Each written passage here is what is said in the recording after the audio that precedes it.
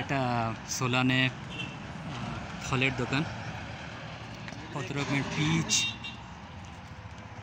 Cherry নানা রকমের ফল।